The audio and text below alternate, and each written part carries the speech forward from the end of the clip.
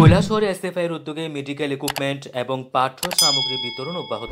কৈলাসহর মহকুমার অন্তর্গত এসএফআই হাওর অঞ্চল কমিটির উদ্যোগে ডলুগাঁও বাজারে দলীয় অফিসে আজ শ্রমজীবী পরিবারের ছাত্রছাত্রীদের বই, খাতা, কলম, পেন্সিল ইত্যাদি পাঠ্য সামগ্রী সহ হ্যান্ড স্যানিটাইজার, মাস্ক দেওয়া হয়।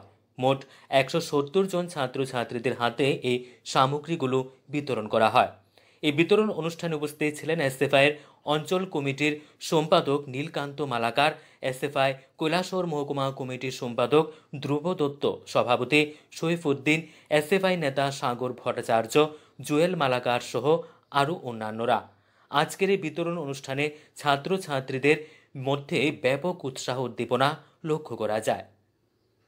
করোনা ভাইরাসের যে মহামারী শুরু হয়েছে, সেই মহামারীর কারণে আমাদের সারা দেশে এবং আমাদের রাজ্যেও যে লকডাউন আজকে প্রায় তিন মাস যাবৎ সেই লকডাউনের ফলে আমাদের রাজ্যের যে শ্রমজীবী মানুষ, সেই শ্রমজীবী মানুষের পরিবারের যে ছাত্রছাত্রীরা আছে, তাদের মধ্যে আমরা আজকে কিছু শিক্ষা সামগ্রী, খাতা কলম এবং করোনা ভাইরাসের সাথে লড়াই করার বা কিছু মাস্ক এবং স্যানিটাইজার ছাত্রছাত্রীদের হাতে তুলে দিয়ে আমরা তাদেরকে সামান্য একটু সাহায্য bureau report Tripura twenty four into seven.